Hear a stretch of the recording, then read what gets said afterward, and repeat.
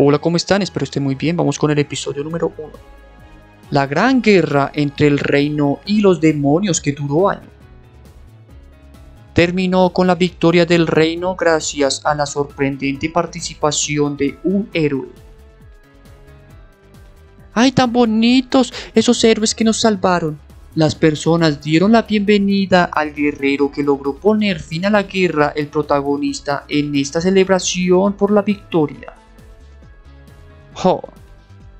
Li Ji Ho. Alábenme. Había bastante sobrenombres por los que eran conocidos el guerrero de otro mundo, el cazador de dragones y también el prometido de la pieza descartada por el conde Balasit. Señorita Nadia Balasit, ¿promete ser fiel al señor Li Jiho como su prometida? Eh, sí, lo prometo. El compromiso se hizo antes de que Li Jiho se convirtiera en guerrero.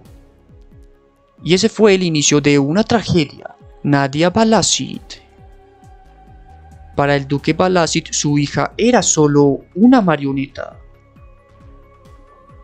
No entiendo cómo alguien tan inútil puede ser parte de la familia. Oh, ahí no soporto ni siquiera verla. En comparación con su hermana menor, quien fue consentida desde la infancia. Ella siempre fue menospreciada incluso por las criadas. Nadie quería a esa mujer por lo que ni siquiera podía soñar con el reconocimiento de su padre. Oh hija, me decepcionas. Hasta que... Nadia, tienes algo que hacer por mí. Finalmente llegó la oportunidad de que Nadia fuera reconocida por el duque. Este matrimonio será de gran ayuda para el ducado, hijita. El compromiso con Li Jiho. Te vas a casar con él cuando Li Jiho fue convocado desde otro mundo. Fue conocido como un mercenario con un crecimiento extrañamente rápido. Yo te concedo el honor de ser mi caballero. Por lo que el duque Balasit estaba seguro de que tenerlo a su lado le sería de gran ayuda en el futuro. Lo quería amarrar y encadenar. Fue entonces que decidió atraparlo en un matrimonio arreglado con su hija ilegítima Nadia. Y se casaron, ambos siendo solo piezas de ajedrez para el duque de Balashi. ¿Está bien, señor? Oh, sí. Definitivamente no dejaré que nadie me ignore. A pesar de ser una relación que comenzó de esa forma, aún mantenía un poco la esperanza de que podía tener una vida normal de casada y feliz. Hasta que caí en la trampa de aquellos de quienes más confiaba.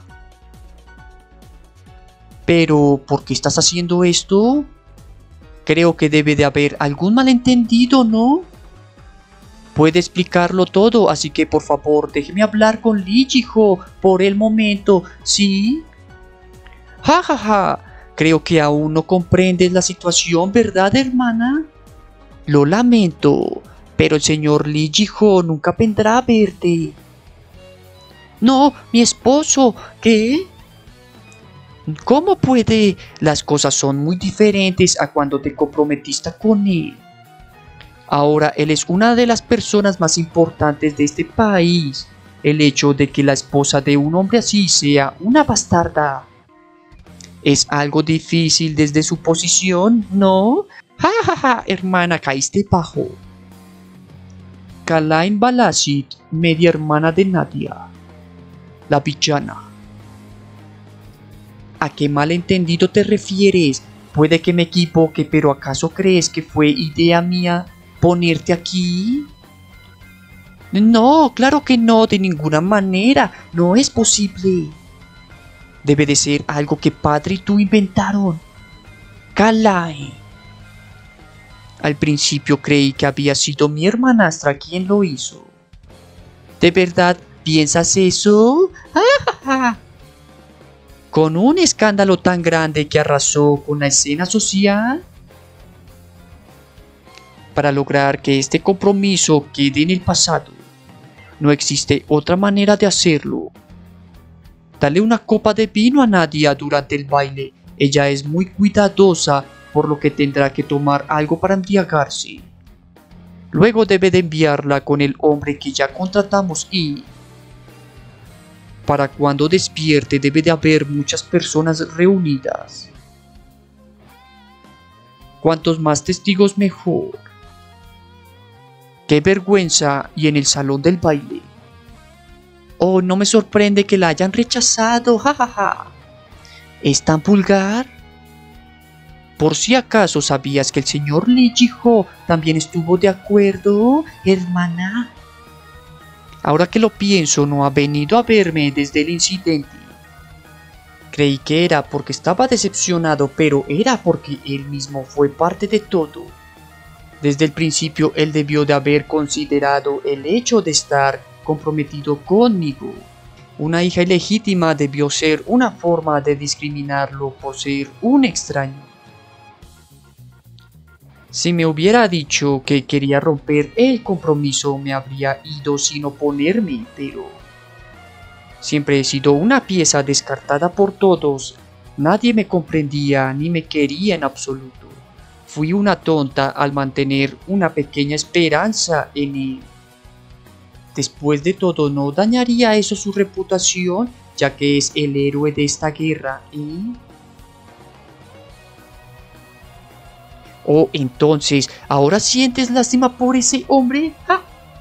Solo porque es un héroe, ¿no había dicho que era solo un hombre humilde con el que no querría salir? Hermana, solo te interesa el poder. Bueno, di lo que quieras, a mí no me importa.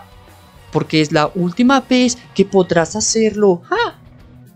Lo único que te espera es el final miserable. Y yo lo voy a ver. ¿Qué? ¿Qué familia noble aceptaría una mujer cuyo matrimonio se arruinó después de tener una aventura extramatrimonial? Además, incluso si eres una hija ilegítima, es imposible que puedas volver a casarte con nadie que no sea un plebeyo. Siendo así, ¿no sería mejor morir con honor? Muchachos, ya saben qué hacer. Así que quiero ayudarte solo por esta vez. ¡Ay no! ¿Qué van a hacer? ¡Ah! Quédate quieta.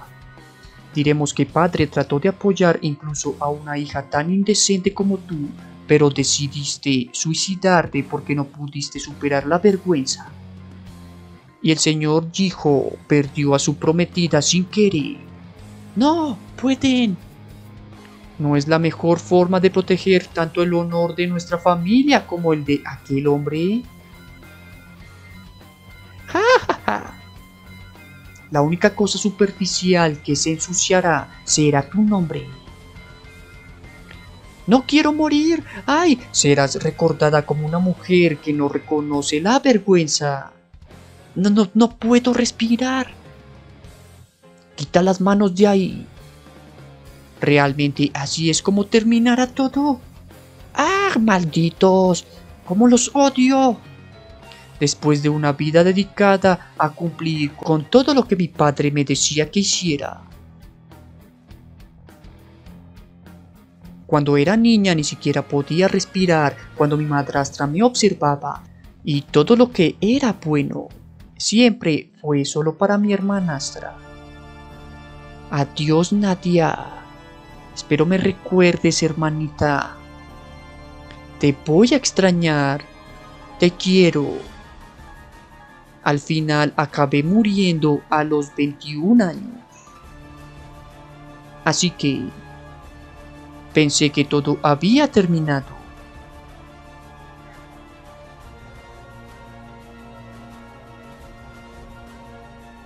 Pero cuando abrí los ojos, había regresado a cuando tenía 20 años, un año antes de mi muerte. No hay ninguna cuerda alrededor de mi cuello. ¿Cómo es que estoy viva? Recuerdo que mientras perdía la conciencia sentí como la muerte envolvía mi cuerpo. Pero He despertado en mi habitación luciendo así. Incluso el panorama de esta habitación es idéntico a como era hace tres años. Aun si es una idea sin sentido, podría ser que... ¿He vuelto al pasado? Estoy tranquila. No, si ese es el caso. Me han dado una oportunidad más. Un prometido egoísta. Mi hermanastra, quien me miró sonriente hasta el momento de mi muerte. ¡Ja, Tan bonita como sufre, me encanta. Y también... Ja, mi hija, no sirves para nada. Mi padre que me usó como una pieza de ajedrez y me abandonó. Ahora podré vengarme. Esperen y verán lo que les voy a hacer. Los voy a hundir junto a este reino de hipócritas. Capítulo 2 Si a una persona le dieran una segunda oportunidad de vivir, ¿qué elegiría?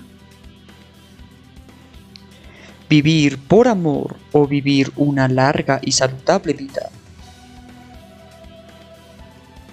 Es Oh, estaba despierta, debería haber tocado el timbre rápidamente. ¿Eh? No podía limpiar la habitación por tu culpa. Ay, váyase de aquí. Después de revivir, ¿así me tratan? Pues escogeré la venganza. ¿Qué estás haciendo? Tocando el espejo con tus sucias manos. Ay, mira, lo ensuciaste. Le dejaste una mancha. Quítate de ahí. He pensado que esto debe de ser un sueño. Ay Dios, ni siquiera sabe lo básico. Mujer inservible. Tal vez volví en el tiempo.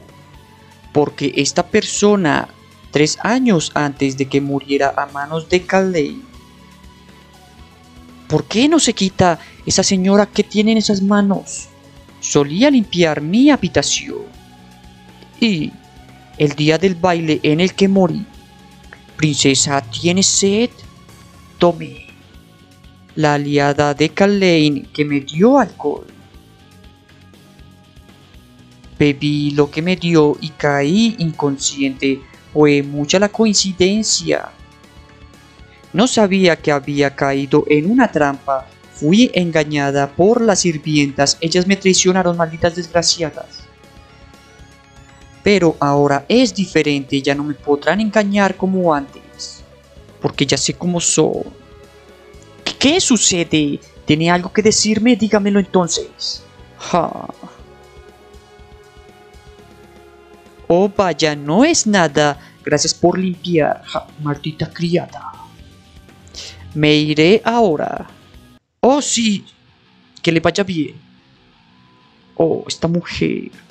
Es como si hubiera cambiado. No, no, no, creo que es solo mi imaginación.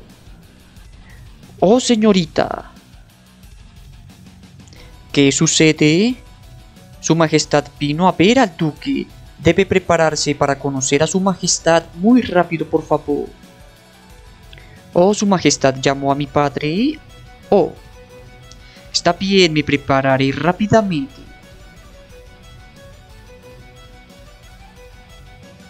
¡Hey, padre! Duque de Balashit. Oh, mi hija. ¿Me llamaste? Llegas tarde, ¿por qué te demoraste tanto? Dije que estaba apurándome para prepararme. Oh, me mira como si mirara a un insecto. Esta niña, ¿quién se cree que es? En el pasado le tenía miedo a mi padre, solía temblar y quedarme callada. Ah, olvídalo, tengo algo que decirte, así que pon atención. Es sobre la ceremonia triunfal. Su Majestad vino a verme por eso. Quiero que tú y Kalein sirvan el té. Hablaremos para que le ofrezcas una corona de laurel al señor Jiho en la ceremonia. Todo lo que tienes que hacer es estar de acuerdo en que es una buena idea, hija. Sí, Viniste por el problema de la ceremonia triunfal, Pero yo ya sé cómo es todo eso. Hay una antigua tradición durante la ceremonia en la cual una mujer en edad de casarse ofrece una corona de laurel al héroe de la ceremonia, lo que significa una confesión de amor. Pero en esta nueva vida no le voy a decir nada, ni le voy a entregar nada a ese señor. El problema es que uno de los homenajeados en la ceremonia es el enemigo del sur, el norte. Durante años han tenido guerras y han peleado. Por eso quiere cambiar al héroe de la ceremonia ofreciéndole la corona de laurel a Li Jiho. ¡Ay, no puede ser! Y como ganancia casarme con él. Maldito padre. Incluso si me niego, mi padre no me escuchará. Necesito un plan para alejarme de Li y de mi padre. Pero, ¿qué puedo hacer? Abre la puerta. Hola, ¿cómo estás, hijita? Hola, hermana. ¡Ja! Mis saludos a su majestad el rey. Ja, ja, ja. Hola, duque, lo estaba esperando. Tome asiento, por favor. Ya sabes por qué he venido. Oh, señor, yo no puedo leerle la mente. ¿Cómo voy a saberlo? ¿O pretendes no saberlo, eh? ¡Qué astuto! La expedición de Kalai solicitó una ceremonia triunfal. ¿Lo escuchaste? Eso es algo bueno, ¿no? Haremos lo que ellos pidan. ¡Ey! Ese no es el problema aquí. Hay alguien en esa expedición y tú lo sabes. Oiga, señor, por favor, cálmese. Entre los comandantes de la expedición está el marqués de Invernalia del Norte, que está enemistado con nosotros. Él es un gran oponente, será el centro de atención en la ceremonia triunfal, y tenemos que hacerlo nuestro aliado. Entonces los del norte se volverán locos, ¿cómo puedes decir esas cosas? Si ese es el caso, no tiene que preocuparse, haré que otro sea el héroe en la ceremonia. Hay una manera de arrinconar a los del norte. Oh, ¿en serio? Pues dímelo. Ay, es tan ingenuo. Confía en la palabra de mi padre. No debería creerle todo. No es de extrañar que las personas del norte estén descontentos.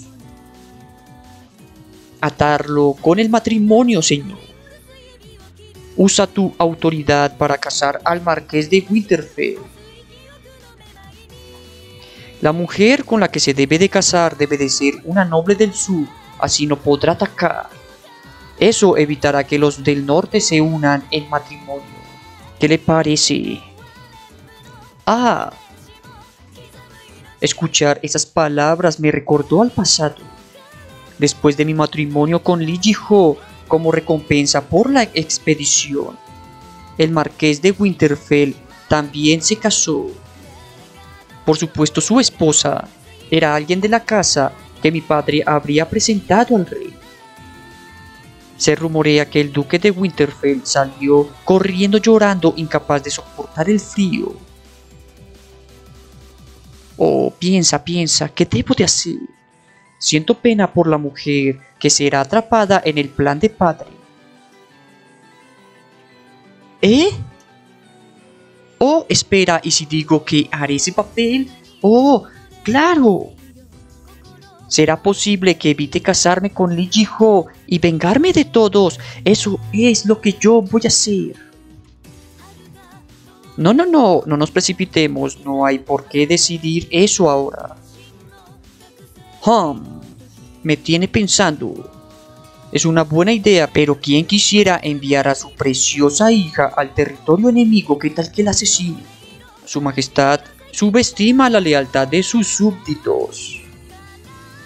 Si eres leal, entregarás a tu hija por el país, claro está. Y no puedes decir no. Oh padre, me has dado una idea maravillosa y no te puedes retractar. Eso es. Su Majestad hay una petición que me gustaría hacerle. Oh, señorita, dilo de una vez. Nadia, ¿Cómo te atreves a interrumpir la conversación? Si necesita que una mujer vaya al norte, al territorio enemigo, me encantaría hacerlo a mí. Yo estoy dispuesta. ¿Eh? Hija, ¿qué está pensando usted? ¿Qué? Soy la señorita de Balasit, a quien su majestad siempre ha apreciado. Una mujer digna de confianza más que cualquiera de las que padre haya hablado. ¡Uh, hermana! Oh, hija, no digas eso. Así que, por favor, dígame. Teme la oportunidad de hacer algo por su majestad casándome con el enemigo. Yo lo haré por el reino. Ja, ja, ja. Pero eso es mentira porque lo voy a hacer por mí para vengarme. Y nadie me va a detener porque estoy furiosa con todos. Todos van a sufrir. No dejaré que te salgas con la tuya, padre, hijo, hermana. Van a sufrir y yo estaré feliz riéndome de todos en otro lado. Ah, bueno, gracias por ver el capítulo de hoy. Espero les haya gustado. Espero se hayan entretenido un rato y eso es todo. Bueno, espero descansen. Chao.